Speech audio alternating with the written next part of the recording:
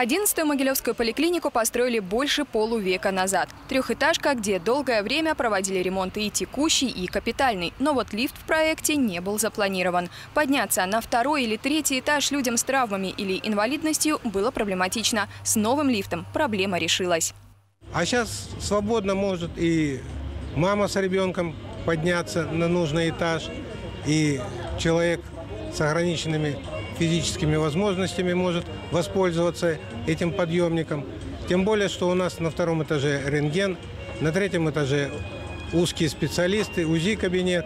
То есть полностью доступность на разработку проекта и установку потребовалось 5 лет. Помог инвестор, средства выделили и из городского бюджета. Лифт, к слову, от могилевского производителя и такого вида подъемник при поликлинике пока единственный в области.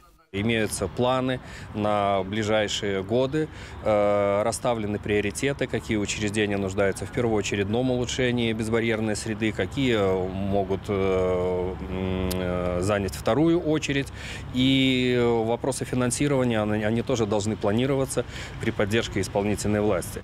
11-я поликлиника обслуживает более 27 тысяч человек. 1800 из них – люди с инвалидностью, в том числе и из Могилевского района. В учреждении здравоохранения уверены, лифтом будут пользоваться каждый день. И барьеров, конечно же, станет меньше.